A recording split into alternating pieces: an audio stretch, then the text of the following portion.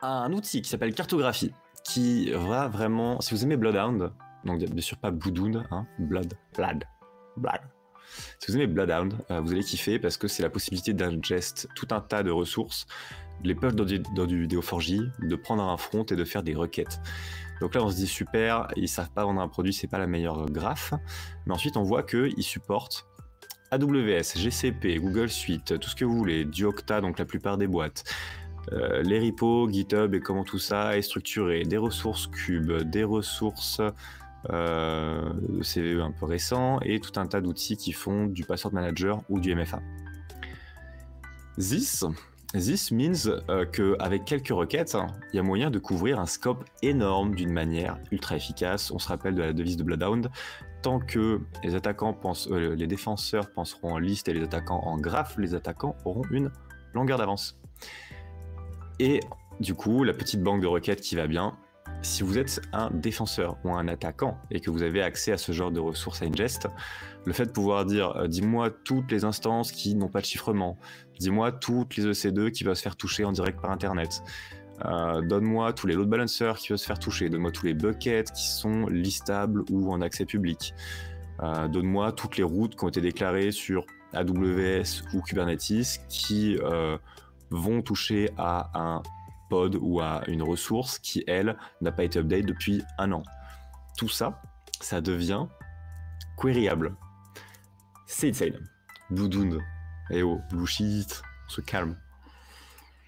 Euh, donc voilà, je trouve l'approche euh, très chouette. Euh, créer des queries, il y a certains idées qui aident parce que sinon c'est pas forcément euh, trivial.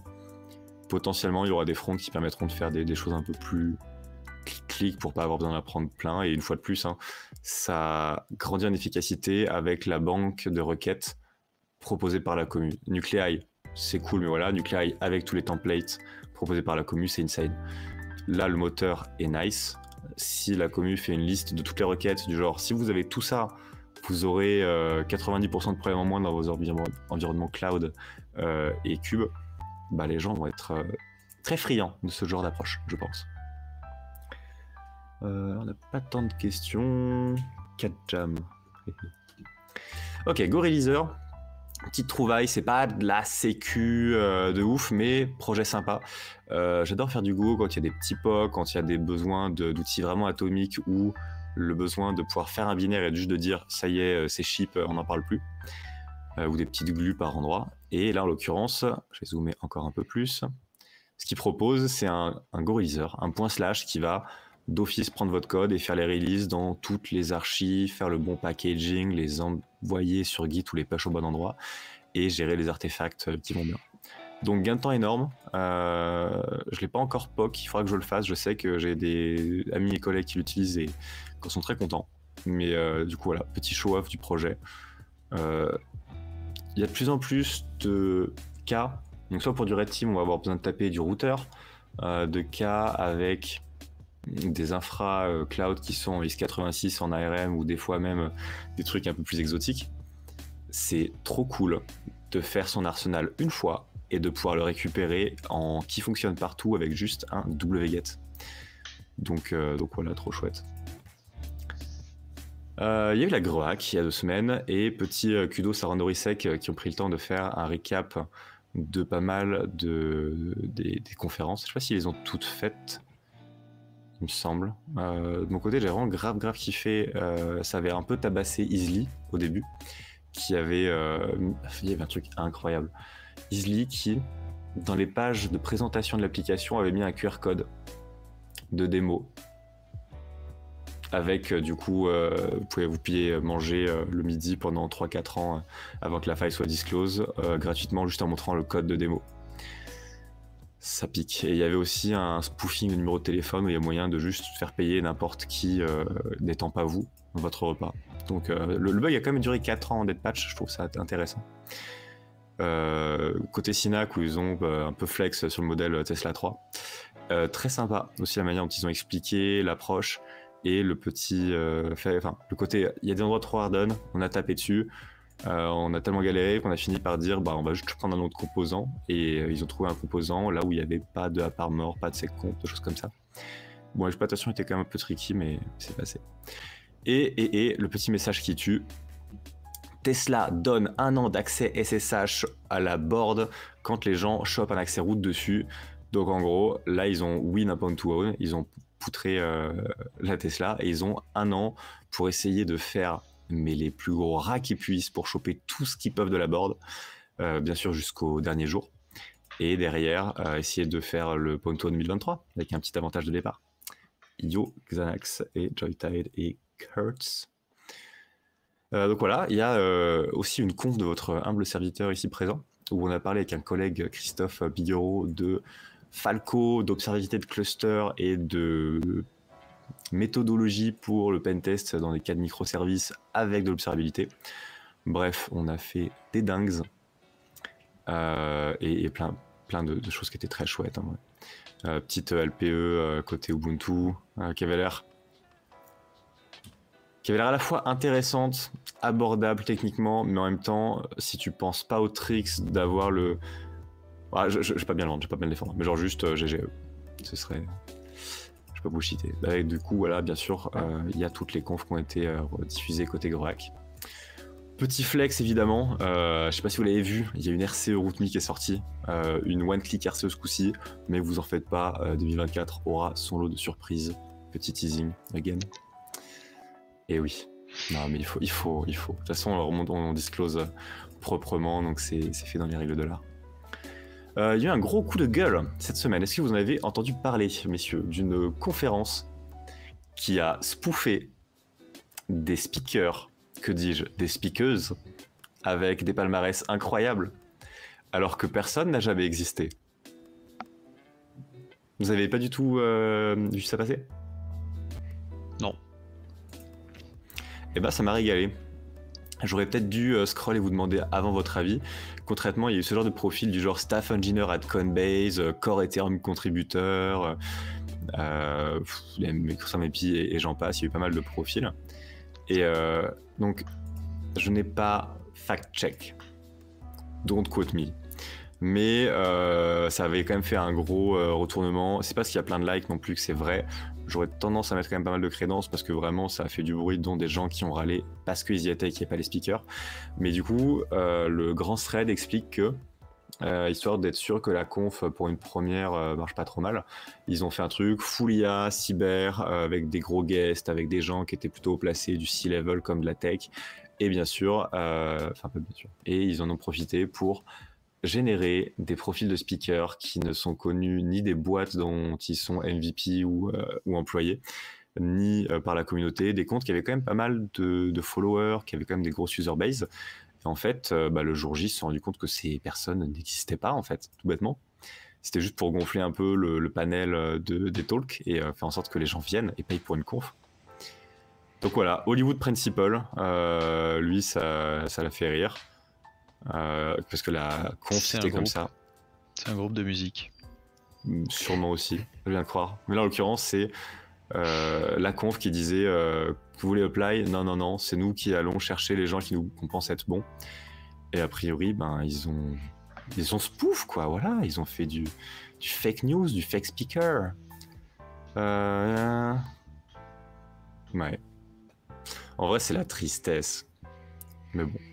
Euh, thread intéressant, comme d'hab, hein, tous les liens seront en, description. Euh, pour des threads un peu longs, ça vaut plus le coup de les, déguster plutôt que de, tout backtracker.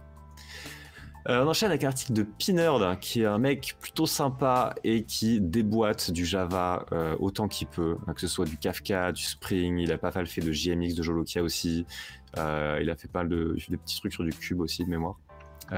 et beaucoup de décialisation. C'est celui qui avait fait, je sais pas si vous vous souvenez, on avait parlé il y a quelques temps, l'article Make JDBC Attacks Great Again. Le système où on a un JDBC 2.2 slash et une URL qui est un connecteur Java pour dire tu, pour, pour euh, te connecter à tel DB, tu vas utiliser telle classe, tel scheme avec tel type de paramètres. C'est un peu l'équivalent euh, des comme si, un, peu comme si c'était un wrapper PHP, euh, plutôt un scheme PHP, hmm. mais quoi je pourrais comparer ça? Je sais pas, juste on dit, euh, voilà, tu prends euh, tel proto, tel host, tel port et tel type de paramètres et tu vas taper plus loin. En, vrai, si vous l'avez pas vu, DBCA tax. Je pense, je pense que ça va vous rappeler quelque chose. des gros stack trace, et en gros il explique comment on peut faire voilà, cette chose-là, du JDBC Postgres de localhost, mais qui, quand elle va, cette ressource-là, se faire instancier pour avoir la connexion vers euh, la DB, bah derrière, il y a de la réflexion pour avoir un socket factory instancier des classes qui va aller chercher un fichier quelque part, qui lui-même va trig une XXE, qui... Bref, c'est que des dingues à chaque fois. Euh, donc soit de la décialisation, soit des files read ou write, mais euh, c'est un peu comme s'il y avait de la pop chain embed dans une seule URL. C'est un délire. C'est un délire. Et du coup, il nous revient avec de la recherche sur Kafka. Et euh, comme d'hab, hein, euh, ça fait plaisir. Il explique comment Spring Boot peut avoir un composant euh, Kafka Connector pour pouvoir push des messages sur les chaînes de. Comment dire Push des streams de messages sur un broker Kafka et derrière les reconsommer. Donc c'est pour faire de la gestion de, de fil d'événements, de gestion de grosses volumétries de données, euh, de la redondance des, chaînes de traitement. Donc on pourrait faire ça pour un système de paiement, pour un système de log un peu dense, pour un système de vidéo, euh, pour des transactions euh, par exemple, et le tout est redondé et voulu safe. Et concrètement, il explique, ça j'adore, les labs minimalistes. On a fait un lab avec deux Docker Compose et basta, c'était plié et euh, quelques fichiers de config euh, au besoin. Il explique un peu comment est-ce qu'il déploie ça, donc il me semble que ensuite un email pour configurer le tout et derrière il explique comment on produit de la donnée pour l'envoyer et comment on la reçoit. Et en creusant un peu, il sort ses meilleurs débuggers euh, avec un thème blanc évidemment pour nous montrer qu'il y a un endroit où Spring désérialise de la donnée si elle est dans un format spécifique et du coup ah ben tiens, euh, super, euh, comment, euh, à quel moment ça désérialise, pourquoi, quel type de gadgets sont accessibles. Et si on regarde plus bas, il nous sort les fameuses strings en haste 00 quelque chose, qui est le début d'objet sérialisé. Et du coup, il pop le fameux calculateur, donc il a les... Il a à la fois le tool pour générer ce genre de, de, exploit et l'explication qui va avec. Et c'est quand même quelqu'un qui a su rester classique en popant des calques. Et bien sûr, le petit tool qui va avec, la solution euh, pour pouvoir euh, soit faire un test vite fait, on va dire. Je sais pas s'il a mis ce qu'il y avait dans son objet sérialisé. Je pense que oui.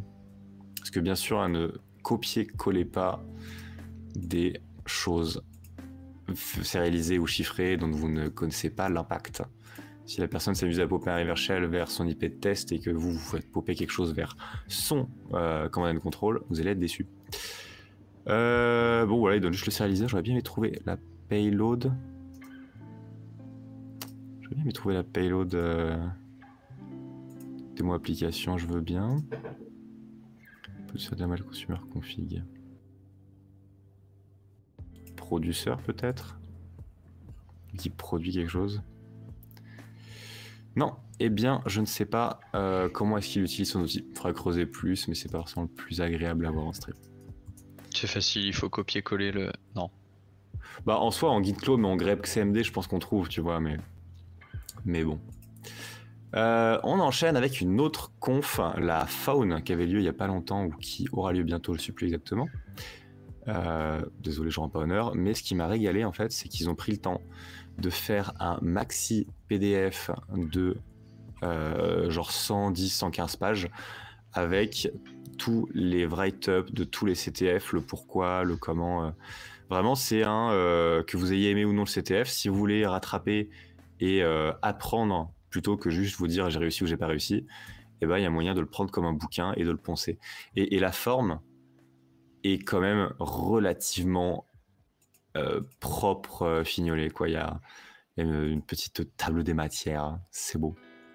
Donc voilà, euh, gros GG à eux, ça fait plaisir de pouvoir revenir sur un CTF et redécortiquer ce qui a marché ou non marché. Ça a l'air trop bien.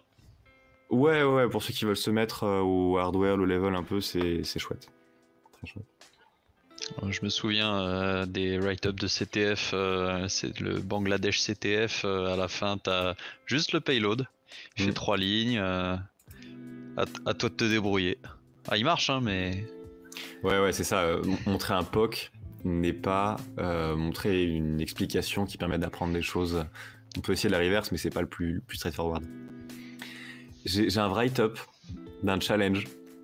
C'est un truc du genre euh, A1, AQ2, 1.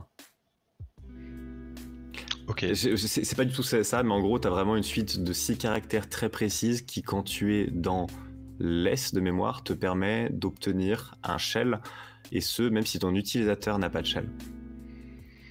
Voilà, c'est tombé un jour en CTF. Euh, le tout était bien sûr dans un Netcat PT qui n'avait pas les signaux, donc nettoyer le shell n'était pas possible, c'était un enfer. Mais le mec qui a fait le challenge s'était chauffé pour aller creuser, euh, comprendre le fonctionnement de l'ES, pour voir comment est-ce qu'on pouvait popper un shell d'une manière complètement chaotique. Euh. Bref, il y, a, un bail de markup. S'il y en a qui ont envie de chercher, amusez-vous et peut-être qu'on en discutera un jour. Du coup, le challenge est sorti, c'est public et tout, mais ce genre de trick, si tu l'as pas, tu l'as pas, quoi. Vraiment.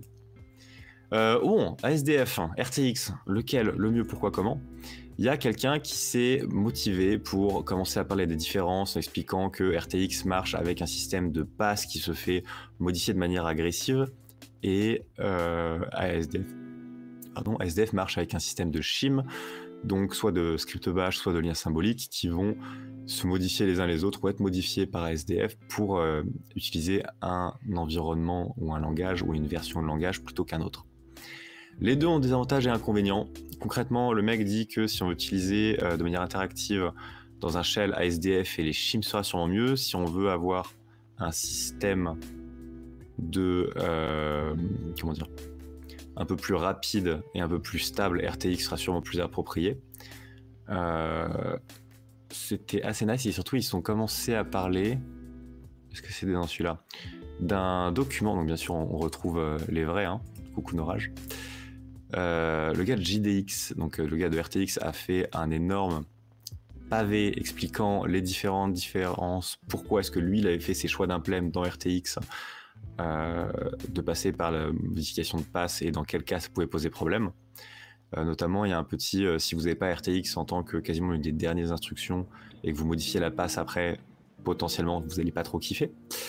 Et il me semble euh, qu'ils ont commencé, je sais plus si c'était là, un gros tableau récapitulatif de toutes les différences de version manager. Est-ce que ça vous... Ah, soit de version manager document. Cette chose-là, non, pas du tout. Euh, version manager, peut-être. Oui, voilà, cette chose-là. Concrètement, ça explique un peu pour différents language managers euh, ou SDK managers s'ils ils sont euh, cross-platform, à quel type de syntaxe ils répondent. Et concrètement, bah, à ma compréhension, les deux qui sont les plus aboutis et fonctionnels sont euh, ASDF, RTX. Il y en a un autre qui me tentait, ça avait l'air d'être Aqua, mais il est pas là. Voilà, Meta Version Manager. Donc déjà, Schema j'utilisais il y a longtemps, mais pour le Java, je savais pas que ça gérait beaucoup plus de choses que là, que ça. Et concrètement, euh, bah, on voit que Aqua, Golang peut être prometteur, mais c'est early. Que ASDF, pour l'instant, en termes de star, est grand, euh, grand maître. Donc, il a beau avoir ses petits défauts en termes de lenteur, et de Shim qui des fois pose problème, bah pour l'instant il est en maître. Euh, SDKman, je sais vraiment, c'était pur Java, mais admettons, mais Bash Groovy, est-ce qu'on a vraiment envie d'avoir du Groovy qui gère ça? Moi je suis mitigé. Et bon, euh, bah voilà, RTX qui commence déjà à vraiment faire sa place à base de Rust, donc installable, fonctionnel, rapide, euh, efficace. Donc voilà, on verra. Euh, concrètement, euh, le fonctionnement par tools version pour piner des versions de langage et de framework fonctionne bien. Euh, ce qui, à mon sens, en disqualifie quelques-uns. Mais potentiellement, à quoi finira par prendre la compatibilité.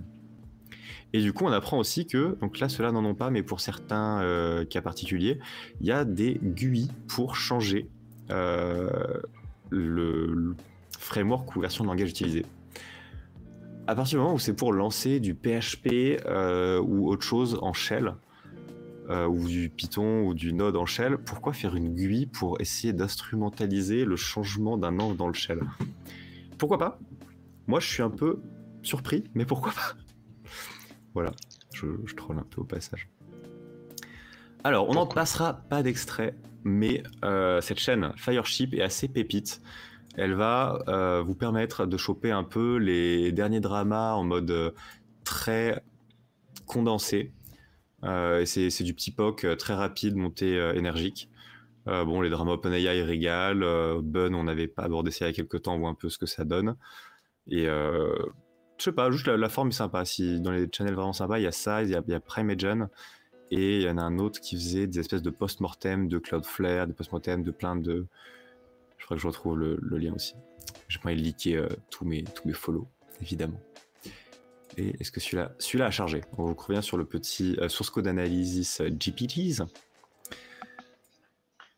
Concrètement, il y a moyen de balancer un zip et dire s'il te plaît fais l'analyse. Là, je pense que ça a été caché, mais en tâche de fond, ce qu'on voit, c'est qu'il ouvre un Python pour euh, à la mano, pour récupérer les contenus, les lire et run des grèves derrière.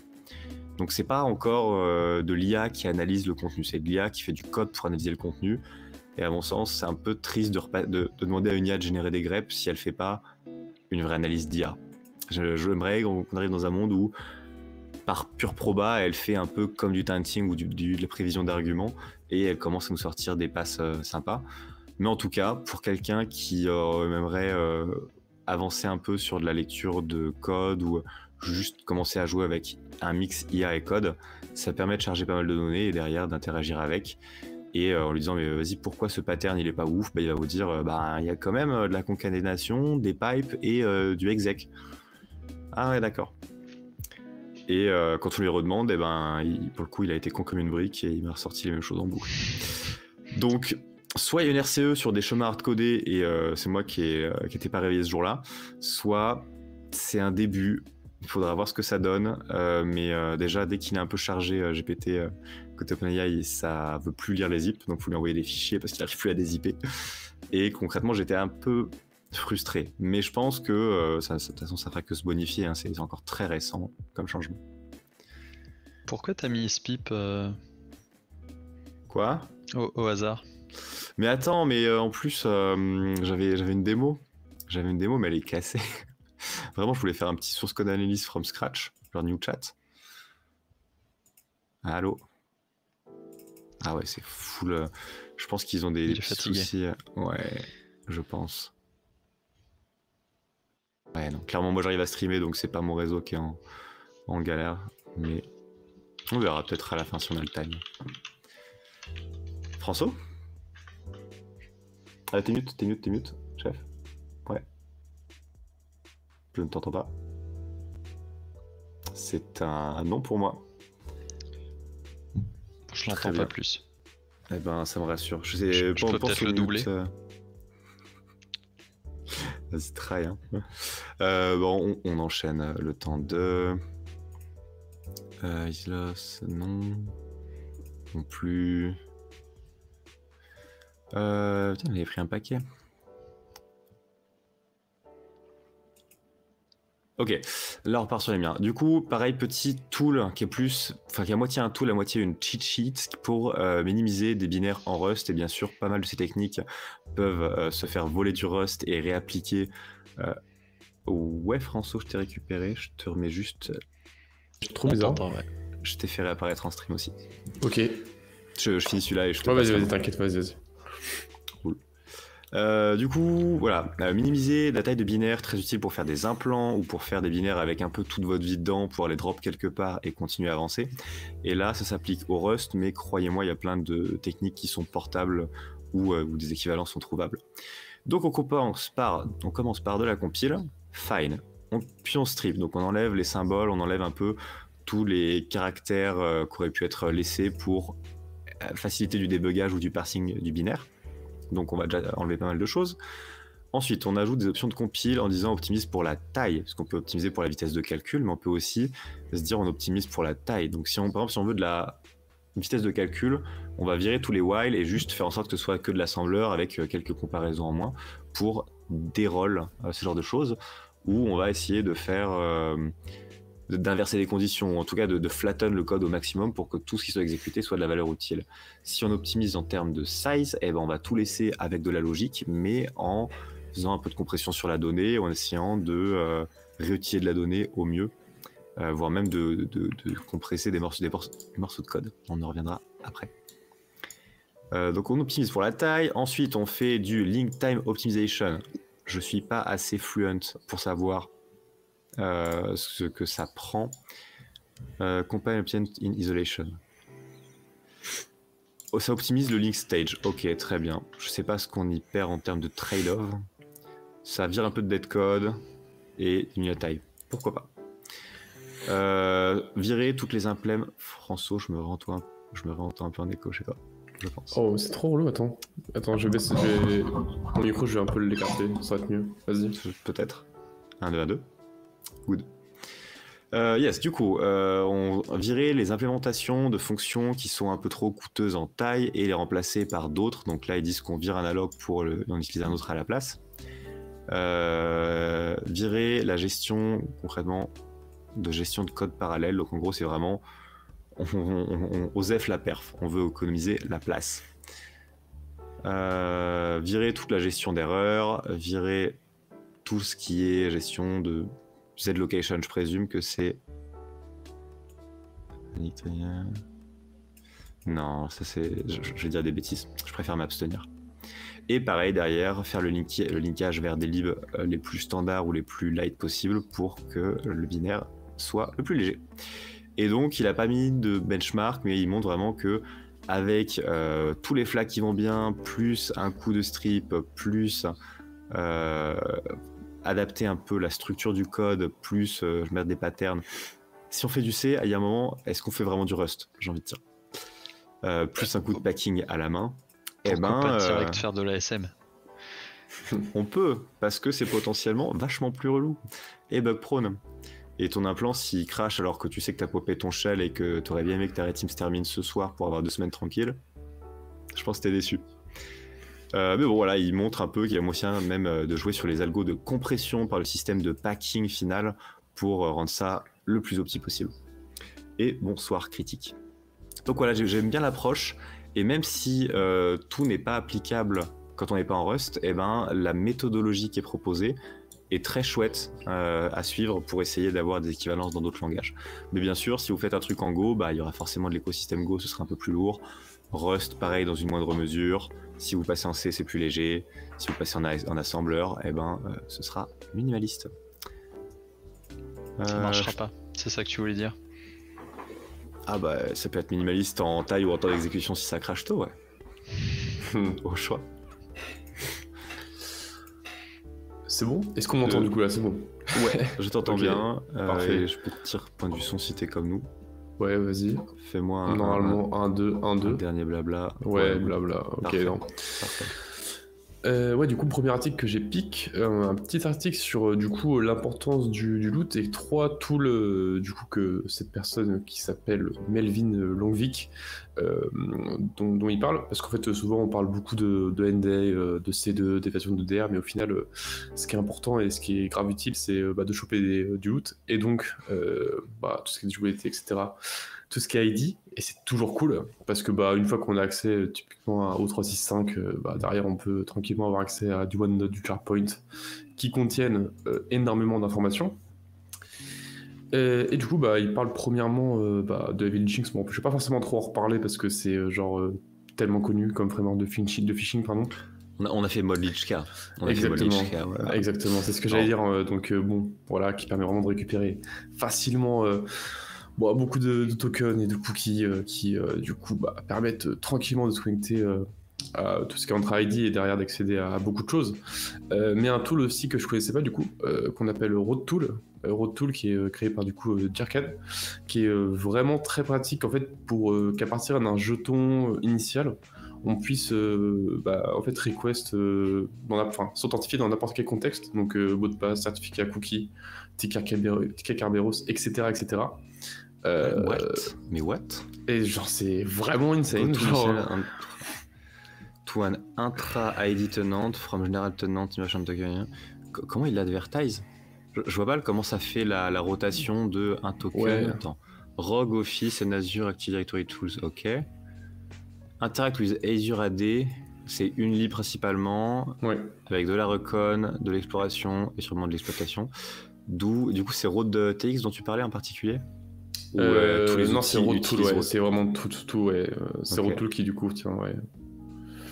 Je serais très curieux de voir comment il utilise son token pour faire toutes les rotations facilement. Ouais, ça doit être super intéressant de, de ça déjà et de voir un peu comment, comment ça fonctionne. Uh, tool for exchanging and using different types of Azure AD issued tokens, support many different authentication flows, device registration and PRT related operation. Ok. Putain, il y a de la doc.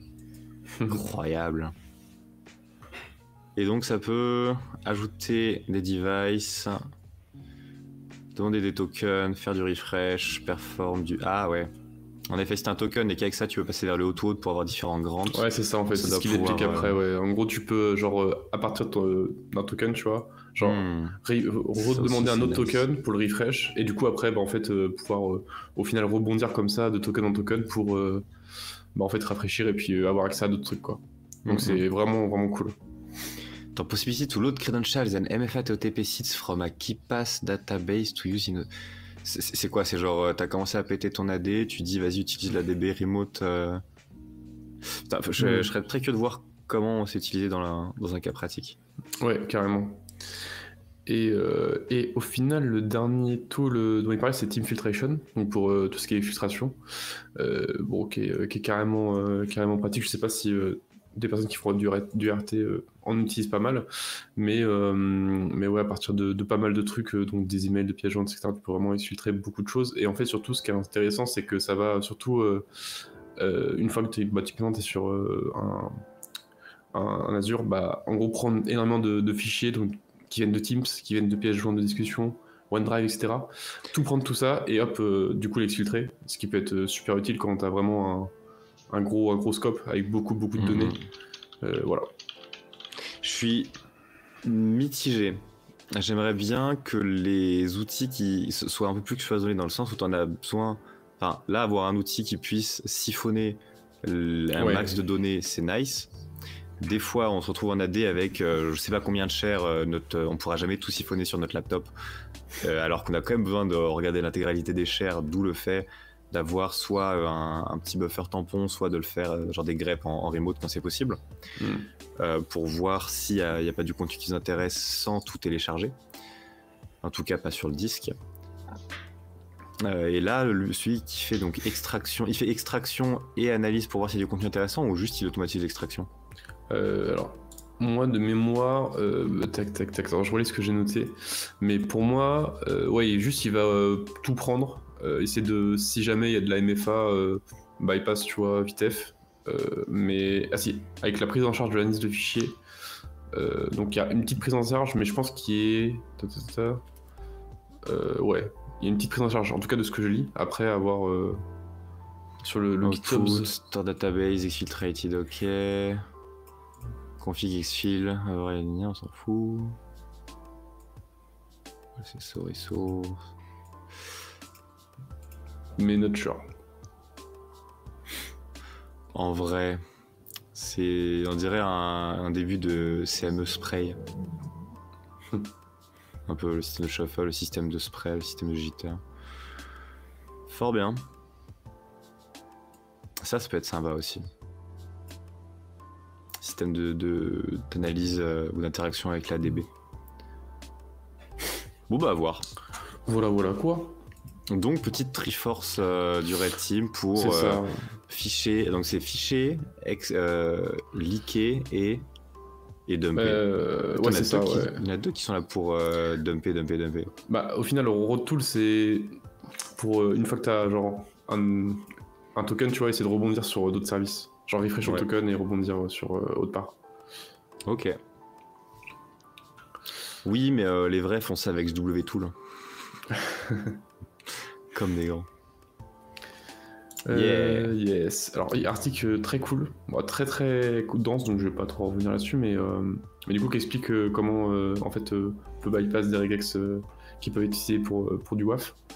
Donc très très cool avec des super bonnes, des petits blocs de code qui, enfin, je trouve, sont vraiment trop faciles à comprendre et hmm. enfin, il y a ceux qui, fait, qui font généralement toujours des bons articles. Tu mets, la première fois, je crois que c'est toi que tu m'as montré un, article et j'avais fait ah oui putain c'est vraiment ça c'est ça c'est du made in il y avait celui pour la génération de payload un peu de fuzzing mais qui a vraiment un impact, un impact le plus détectable possible euh, il y avait euh, ouais, du bypass de WAF et je pense que c'est leur deuxième ça, ça c'est du made in Brumen c'est ça? Qui régale euh, et, ouais, du coup, bah, en vrai, je conseille. Euh, franchement, je conseille de, le check parce que euh, c'est cool. De toute façon, je vais pas trop en parler. Il y a aussi tout ce qui est normalisation et filter collision. moi, j'avoue que j'avais pas forcément trop. Jamais, jamais trop vu ça, donc ça m'a appris des trucs. Filter collision? Ouais, j'en ai jamais trop. Enfin, tu vois, le fait que tu vois, genre, il explique. ah ouais, ici en dessous après. Fontaine backend filter, machin quand tu descends, euh, ton payload, c'est en fait qui euh, du coup est traité euh, quand tu lui as l'encode into, il est traité avec un slash escape avec un double quote. Je crois que c'est en dessous, juste ouais, entre, entre filter collision. Il y a un, hmm. voilà ici ouais. Là? Ouais exactement. Et du coup le payload t'as pas falloir qui juste faire un slash et du coup en custom payload au final si tu veux faire une SSRF tu tapes juste http 2. Euh, double côte qui va du coup escape euh, en mode slash slash localhost et du coup bah ça bypass euh, il met en attends, attends le double côte qui va être escape en slash slash ouais regarde en dessous. Ici voilà.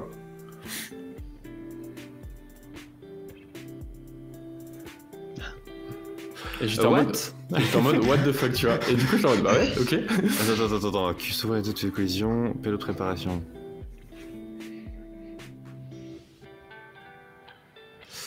Wait, je j'ai pas compris le, flow.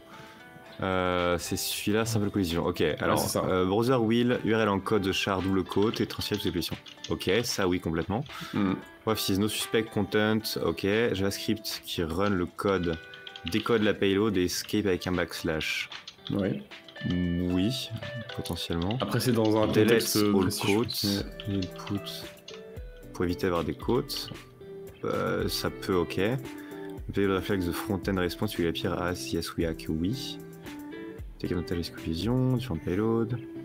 To bypass verification, backslash oui.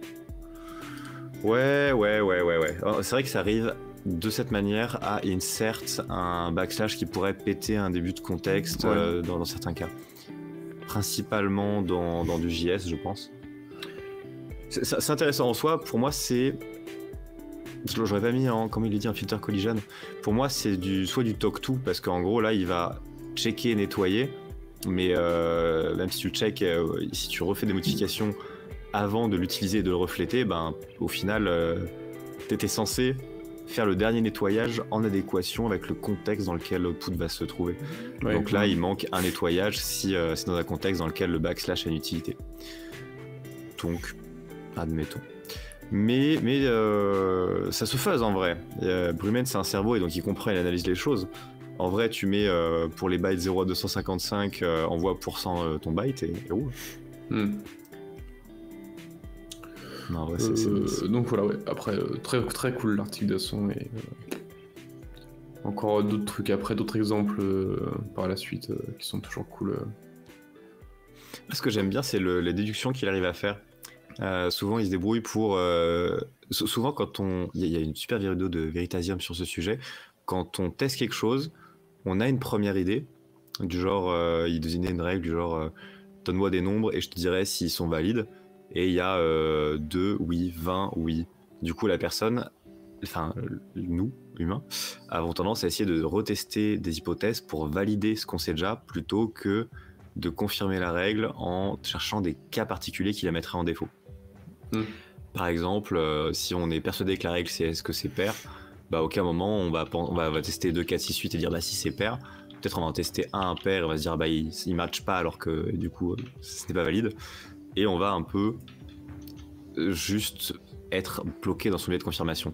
Là, le système de je teste des choses et à chaque fois j'essaye de faire en sorte de voir qu'est-ce qui est bloqué, qu'est-ce qui est pas bloqué avec un peu de dichotomie sur je garde un bout, je garde pas l'autre, je garde un encodage je garde un encodage, mais j'encode la deuxième partie de la payload. Il euh, y, a souvent moyen de s'en sortir. Et euh, pour le coup, je sais que Brumen, c'est vraiment incroyable avec ça. Donc voilà, euh, Brumen's my guy, uh, Firefly, your tool. We are waiting for, uh, you know, the, the, revamp, the release, and the, the, free bypass, of course. c'est toi qui fais les sous-titres sur les rediffs?